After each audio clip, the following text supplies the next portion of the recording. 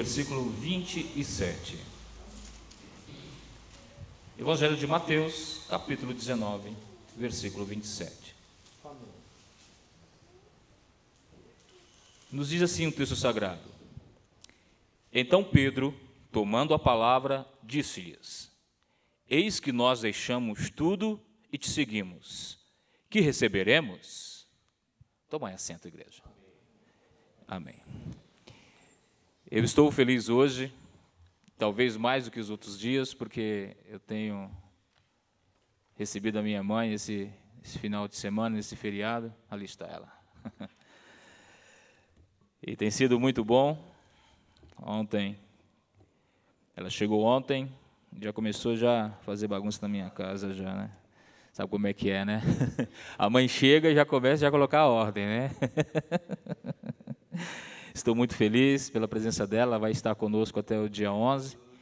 Nessa semana uma semana especial, porque o meu filho vai fazer aniversário, o Maicon, e eu e a minha esposa. Então ela veio para nos presentear, né, mãe? Tá bom, queridos.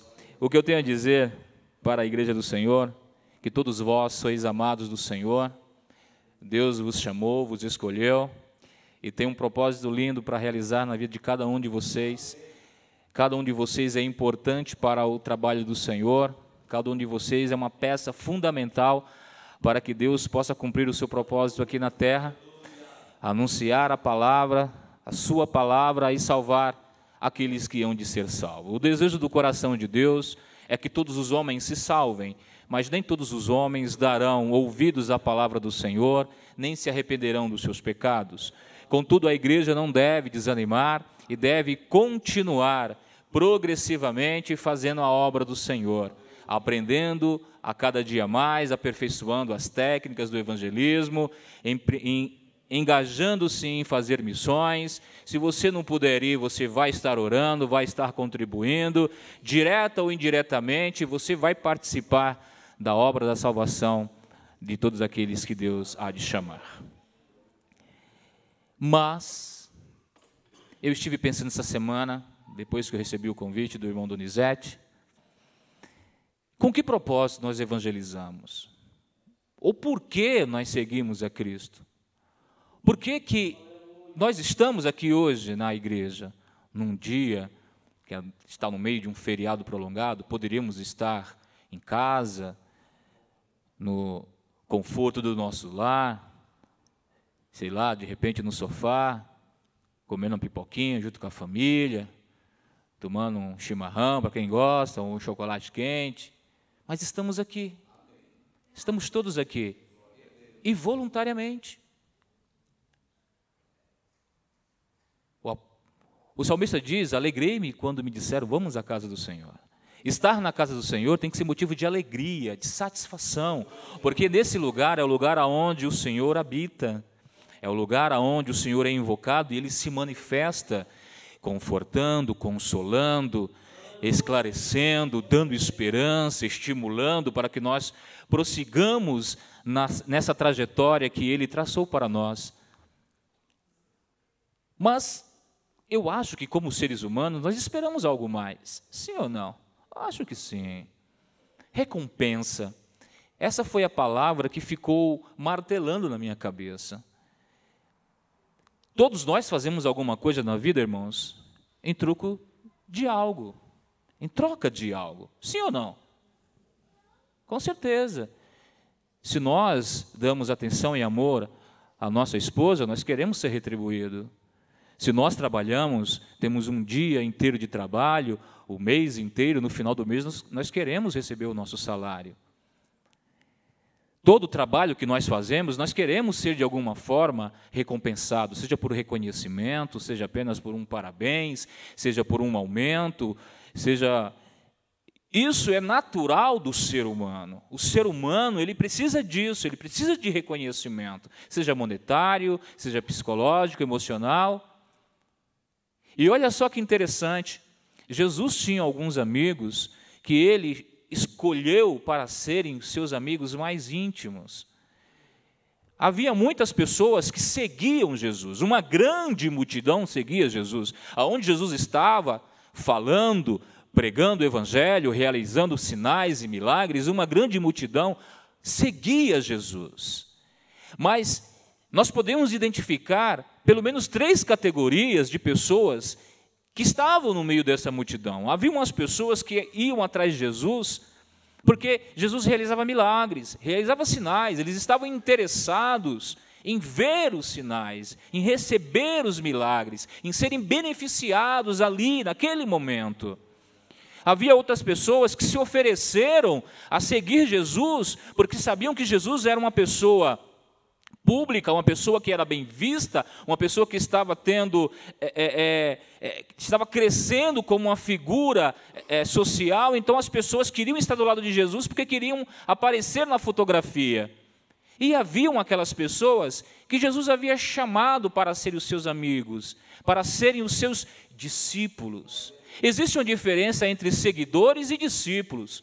Os seguidores, irmãos, na apresentação de qualquer problema, da, maior, da menor dificuldade que houver, eles já se afastam dos seus. Eles já se afastam, e isso aconteceu. Até mesmo aqueles que Jesus chamou na intimidade para serem seus amigos, no momento do aperto também, pela fraqueza humana, eles abandonaram Jesus e deixaram Jesus sozinhos. Mas depois se arrependeram. Enfim, todos fazem alguma coisa em busca de recompensa. E então Jesus chamou esses, esses homens, os seus apóstolos, os seus doze amigos. Eu falo amigos porque o próprio Jesus falou que não chamava os mais de servos, mas de amigos, porque aquilo que era do íntimo do coração de Jesus, Jesus esclareceu e mostrou para eles todos os planos, anseios, sonhos de Jesus, Jesus compartilhou com esses homens. Jesus vendeu o seu sonho, o seu projeto a esses homens e esses homens compraram esse projeto. Esses homens foram ensinados por Jesus, foram instruídos por Jesus durante um bom tempo. Só que Jesus, como ele é claro, esclarecido, ele não deixa nada em oculto, Jesus falou para os seus discípulos dos perigos que eles iriam enfrentar porque quando eles compraram o projeto de Jesus, quando eles aceitaram fazer o mesmo trabalho que Jesus fazia, Jesus também apresentou o lado difícil, o lado ruim. Tem um lado ruim de seguir a Cristo, ou você não sabia? O que muitos têm pregado por aí é o seguinte: olha, aceite a Jesus que você vai ser próspero, vai ser rico, vai ter dois carros, uma casa na praia, uma casa no campo, não vai ficar mais doente. Mentira, balela. Deus tem poder para fazer isso sim, porque o Senhor diz: Meu é o ouro e minha é a prata. A Bíblia também diz que do Senhor é a terra e toda a sua plenitude e todos os homens que nela há. O Senhor diz também na sua palavra que os corações dos reis e dos príncipes são como rios, que ele controla o curso das águas. Estamos vivendo momentos de crise, irmão, crise política, crise econômica, crise familiar, crise social, crise de tudo quanto que é tipo. Mas é no meio da crise, irmãos, que nós temos uma grande oportunidade de apresentar Jesus como o libertador, como o salvador. Esse tempo está muito ruim, mas está ótimo. E é um, uma época próspera para evangelizar, porque as pessoas estão carentes de amor, de um ombro amigo, de alguém para que lhes dê atenção, que lhes dê ouvido. E esse é o papel da igreja. E tudo isso tem um preço.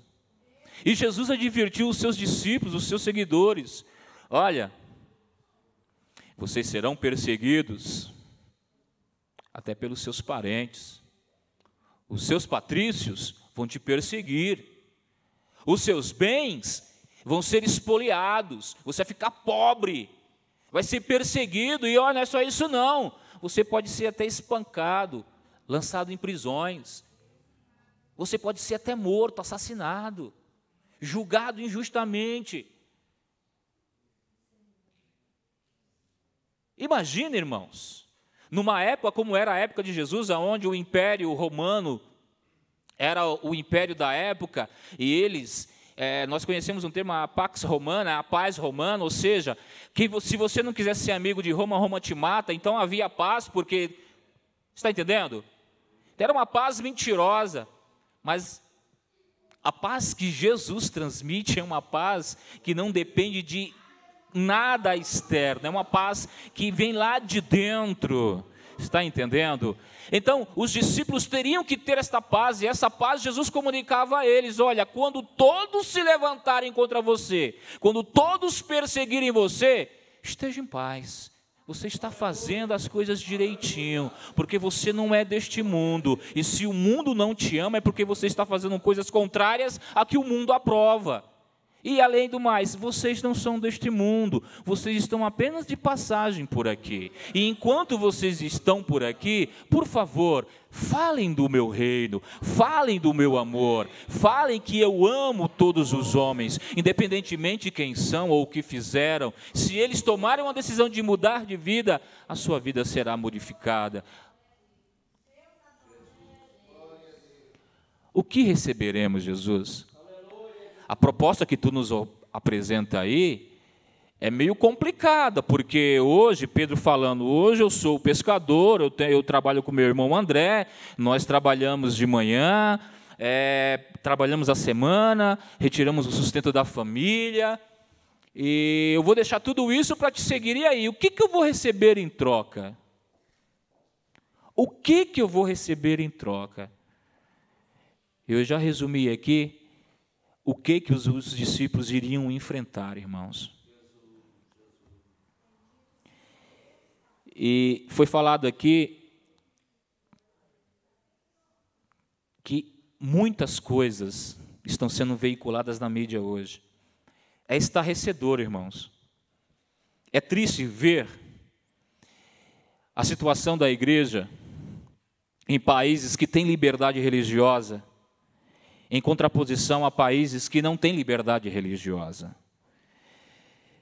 Hoje pela manhã estávamos aqui na escola dominical e falávamos que no Brasil é muito fácil ser cristão.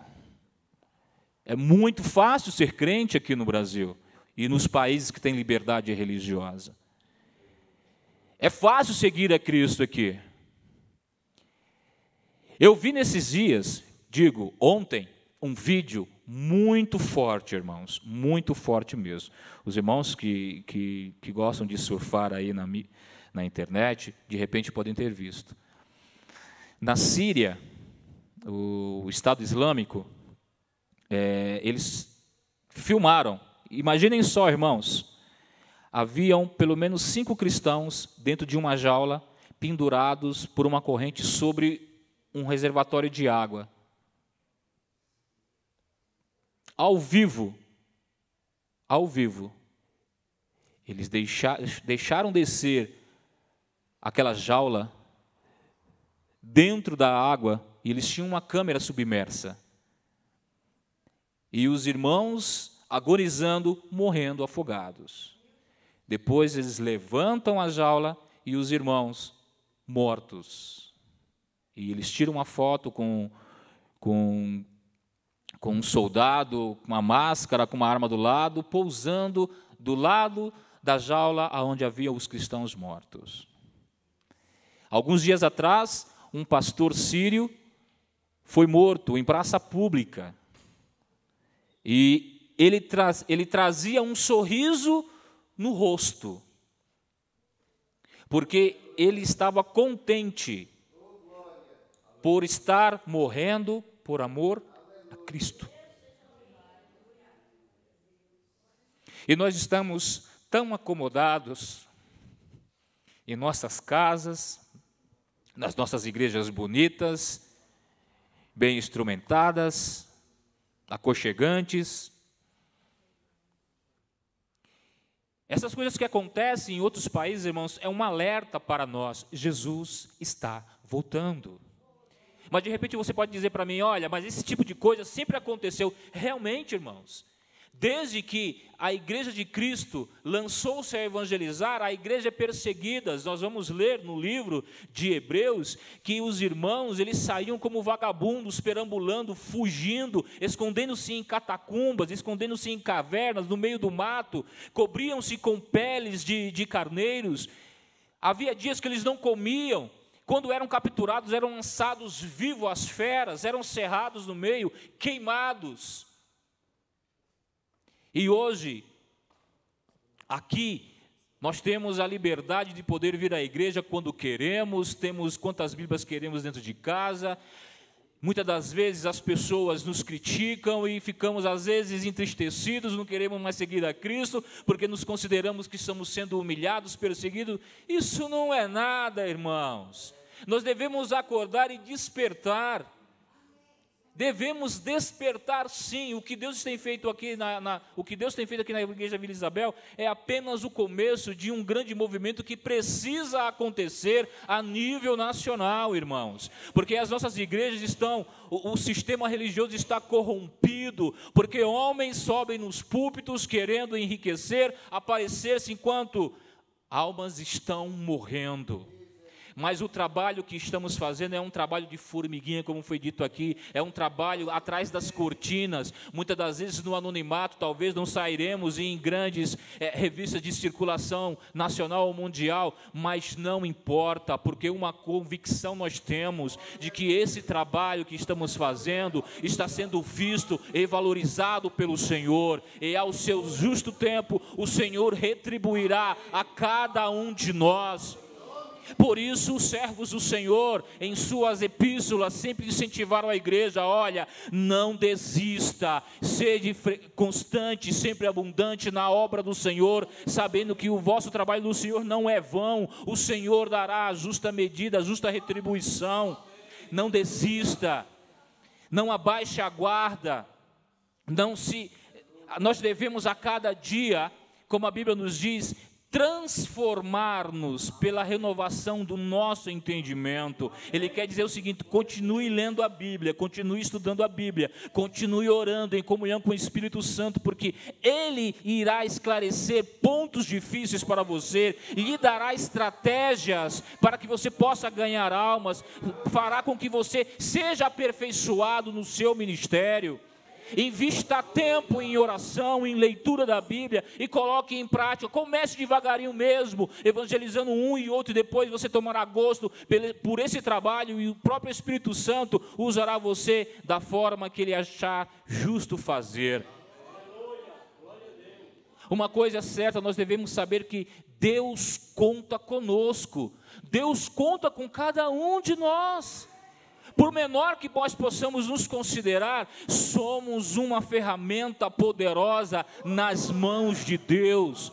Quem vai manipular essa ferramenta é Deus. Quem está no controle da sua vida é Deus. E o que receberemos? O Senhor Jesus, conhecendo a necessidade do ser humano de, de ser recompensado, o Senhor disse: Olha, você receberá cem vezes mais. Olha só, irmãos.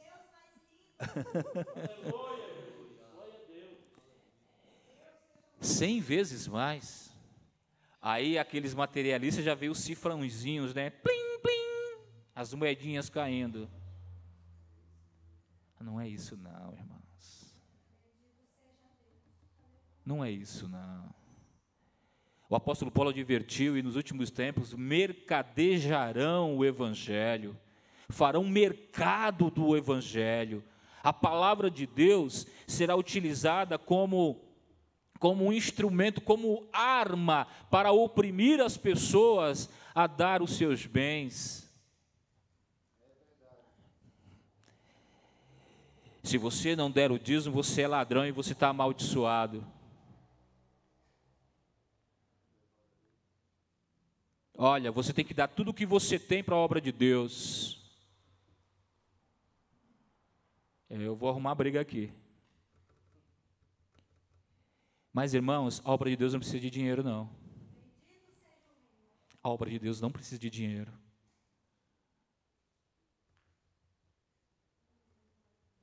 Precisa de dinheiro? Não. Se o Senhor diz meu ouro, minha prata, a obra de Deus precisa de dinheiro, eu preciso estar aqui gastando horas falando de, de, de, de sistema monetário dentro da igreja. Eu tenho que falar a palavra de Deus. A obra de Deus é ganhar almas. A obra de Deus é se dedicar pelas almas. Deus suprirá em tudo. Deus suprirá as necessidades da sua casa. Deus levantará pessoas prósperas para manter a sua casa. E mesmo se não levantar, isso daqui tudo vai ficar quando o Senhor voltar, irmãos. Há pessoas, há líderes, há líderes de igrejas que dizem nós temos que construir um templo suntuoso para causar invejas aos nossos, aos nossos concorrentes. Tem até concorrência, quem faz templo melhor, mais bonito, mais aconchegante, mais sei lá o quê, enquanto as almas estão perecendo, estão morrendo. Aonde que vai tanto dinheiro arrecadado nas igrejas? Será que essa, essa renda arrecadada vai realmente empregada em missões? Será que vai realmente empregada para salvar as almas? Quanto dinheiro entra nessas igrejas das grandes metrópoles? É lógico que tem que ter conforto dentro das igrejas. Mas que adianta a igreja bonita, grande, vazia, sem almas para glorificar o nome do Senhor? Que valor tem?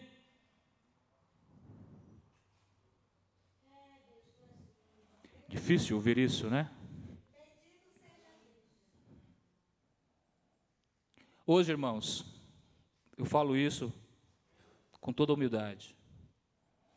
Eu vim do, da Paraíba, do Nordeste do Brasil, no mês de julho de 1977. Eu, minha mãe, mais dois irmãos e uma tia minha, moramos em uma das piores favelas de São Paulo, em Diadema. Eu vivi toda a minha vida, a maior parte de minha vida, dentro de uma favela. Eu congregava em igrejas e quando chovia, caía, pingava dentro da igreja. Os irmãos precisavam um ajudar o outro para que o outro tivesse o que comer. Mas uma coisa eu te digo: não faltava a presença do Senhor. Quando os irmãos oravam, o céu descia ou a terra subiu, não sei. Havia sinceridade no falar dos irmãos havia realmente aquele negócio de viver, de conviver em família. O problema de um era o problema de todos, a necessidade de um era a necessidade de todos. Mas nós estamos vivendo, irmãos, em dias difíceis, aonde o egoísmo tem tomado conta dos irmãos que se dizem cristãos. É cada um por si e Deus que vele por todos.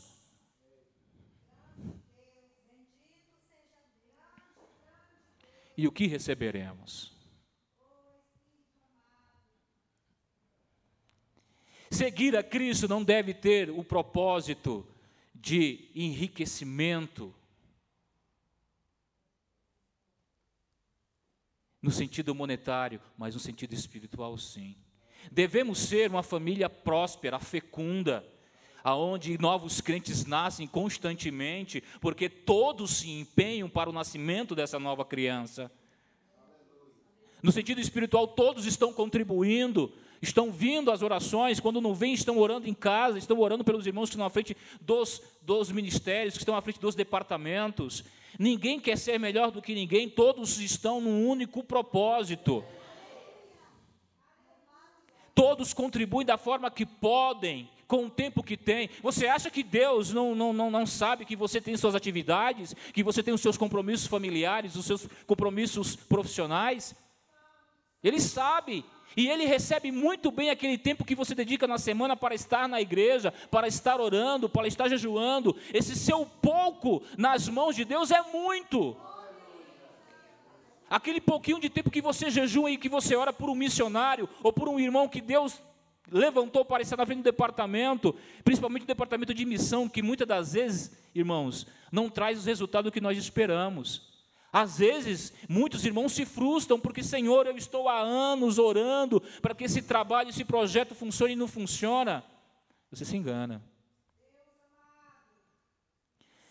tudo que colocamos nas mãos do Senhor para fazer com o propósito do nosso coração reto, prospera, irmão. Talvez não à, vista dos nossos olhos, eu disse pela manhã que muitos irmãos, quando chegarem no céu, vão se ficar de boca aberto, porque pessoas muito conhecidas, com um nome hoje muito conhecido na mídia, vão ter um galardão pequenininho, mas pessoas que você nunca ouviu falar, vai ter um galardão gigante, porque ele trabalhou no anonimato para a glória do Senhor, ele não quis glória de homens, ele quis glorificar a Deus através de sua vida.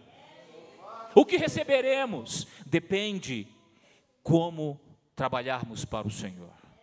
Se trabalharmos para a glória do Senhor, receberemos muito. Se trabalharmos para vermos o nosso nome conhecido, então pouco receberemos ou nada receberemos.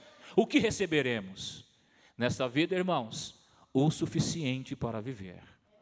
A uns Deus dá mais, mas a estes que Deus dá mais é para suprir a necessidade daqueles que não têm nada. Sabia? Dom de riquezas não é para você guardar para você? Sabia que Deus levanta homens ricos para suprir a necessidade dos irmãos carentes? A igreja primitiva ela prosperava porque os irmãos que tinham muito sabiam que aquele que eles tinham muito não era só para ele, era para ajudar os necessitados. O que eles faziam, colocavam aos pés de si, dos apóstolos e eles distribuíam com os irmãos. Então ninguém tinha falta de nada nem de nada material, nem de nada espiritual, porque todos tinham tudo em comum. Nós devemos resgatar, precisamos resgatar, irmãos, essa identidade da igreja primitiva nos dias de hoje. Você está entendendo? Deus, Ele não mudou, e Ele pode fazer essas mesmas coisas em nós, hoje, agora, nesse exato momento. Deus ele só quer que nós tenhamos a disposição e, e digamos: Senhor, eis-me aqui, Senhor. Faz isso comigo, Senhor. Eu estou aqui, Senhor. Sabe, Deus quer te usar, irmãos. Deus quer te usar, irmã. Deus quer usar a cada um de nós. Talvez, como foi falado aqui na noite, aqui nessa noite, talvez Deus quer te usar para ganhar uma única alma. Isso é uma grande obra que Deus está te entregando. Nunca menospreze aquilo que Deus te entrega. A Bíblia nos diz: aquilo que vier à tua mão para fazer, fazer como? Com toda a tua força, com todo o teu coração, com todo o amor. Sabe, às vezes nós ficamos preocupados de apresentar grandes resultados para as pessoas. Isso é coisa de homem, irmãos. Mas Cristo nos, nos ensina a ser humildes. Olha, quando orardes, não fazei como os hipócritas fariseus que vai nos cruzamentos, vai nas praças e oram em voz alta para que seja visto. Mas quando orares, vai até o teu quarto, fecha a porta após si e ora ao Pai que está em oculto. Quando jejuardes, não fazei como os escribas e fariseus, que não penteiam o cabelo e nem lavam os rostos, para que todos ao verem, ó, digam, ele está jejuando. Não, mas quando fizeres isso, Faz o só para ti e para Deus. Porque fazendo assim, irmão, você está glorificando a Deus e não o homem. Porque se você fizer as coisas para o homem ver, você vai receber a justa retribuição aqui na terra, sim. E lá no céu, que é o mais importante. Aqui na terra nós temos um tempo determinado, não é? Não foi lido hoje? Daqui a pouco nós vamos para a terra do pé junto. E toda a obra que nós fizemos vai ficar no, no esquecimento. Mas aquilo que você faz em nome do Senhor atravessará a eternidade e será por Cristo falado lá na glória. Olha, esse meu servo aqui, ó, esse meu servo aqui, esse meu servo aqui, olha, não tinha aos olhos dos outros muita capacidade, não tinha muito, é, muito preparo litúrgico ou eclesiástico. Ele era uma pessoa simples, de pouca leitura, de pouca instrução, mas aquilo que eu dei para ele fazer, ele fez com afinco, e o resultado foi 80, 90, 100%. Aquilo que Deus nos entrega, devemos zelar. E até defender com a própria vida. O que, que você acha que esses irmãos que estão morrendo lá no Oriente Médio estão fazendo? Estão defendendo aquilo que Cristo entregou com a sua própria vida. E o que vão receber? O que vão receber? Vão receber uma coroa de glória no grande dia, quando o Senhor estiver retribuindo a cada um. Queridos irmãos, seremos recompensados. Não nos preocupemos como ou quando seremos, mas uma certeza é: seremos recompensados. Mas a grande questão aqui nessa noite é: o que você fizer para Cristo, por favor, não faça pensando em recompensa. Tenha a mesma disposição que Cristo teve. Cristo, ele fez muito por nós. Entenda, ele não estava esperando recompensa, ele não estava esperando ser retribuído, ele fez por amor. Amor esse que não se tem como explicar. Olhe para você mesmo, pense quem você era e quem você é hoje. Se nós fizermos uma introspecção, nós vamos entender que nós não somos merecedores do amor de Deus, mas Ele nos ama inexplicavelmente. Então, por causa desse inexplicável amor, vamos amá-lo também com todas as nossas forças. O tempo que temos, a disposição que temos, a disponibilidade que temos, vamos fazer a obra de Deus, porque o Senhor precisa que nós o façamos conhecido àquelas pessoas que ainda não o conhecem. Porque mesmo com, com mesmo estando na era da informação, aonde a, a, a, o trânsito de informações é uma velocidade fenomenal, ainda há muitos rincões que ainda não receberam a voz do Evangelho. E nós precisamos fazer aqui, enquanto nós estamos aqui na localidade, mas orar a Deus para que possa enviar missionários a, nível nacional e a nível internacional, para que essas vidas possam ser alcançadas, para que essas vidas possam ser salvas. Queridos e amados irmãos, foi um prazer estar com vocês aqui e que Deus possa nos abençoar e que possamos atender ao chamado do Senhor, porque ainda está sendo feito o chamado. Os campos estão brancos, prontos para a ceifa, mas ainda falta trabalhadores. O Senhor nos chama. Amém.